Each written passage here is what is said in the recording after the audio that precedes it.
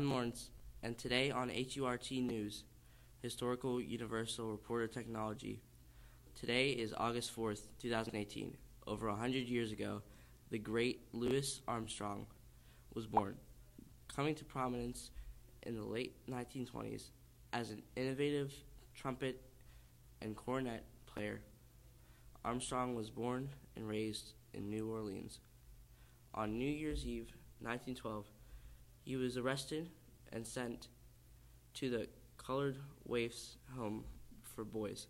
The abundance of years in touring weighed down on Armstrong, and eventually he had his first heart attack in 1959.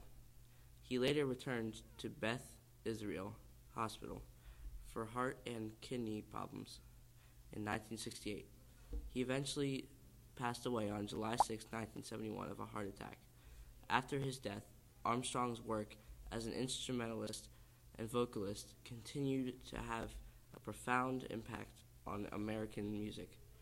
As a black man living and working in a segregated society, he symbolized the civil rights struggle that was part of the changing America in which he lived.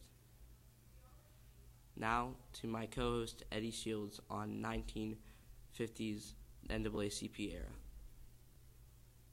Thanks, Lawrence. And on other news, the National Association for the Advancement of Colored People, or the NAACP, was founded February 12, 1909, in New York City. The NAACP was originally called the NNC, or the National Negro Committee. The NAACP focused on bringing about political, educational, social, and economic equality rights of all races. The leader of the NAACP was James Weldon Johnson. James helped the NAACP out significantly by being an author and a lawyer. The NAACP began to publicize the events of the Jim Crow laws that sanctioned racial and discrimination.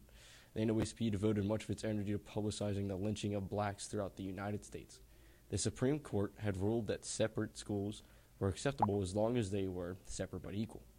One study in 1937 revealed that school spending on pupils in the South was $37.87 per white people compared to the $13.08 per black people. This is HURT, and thank you for tuning in.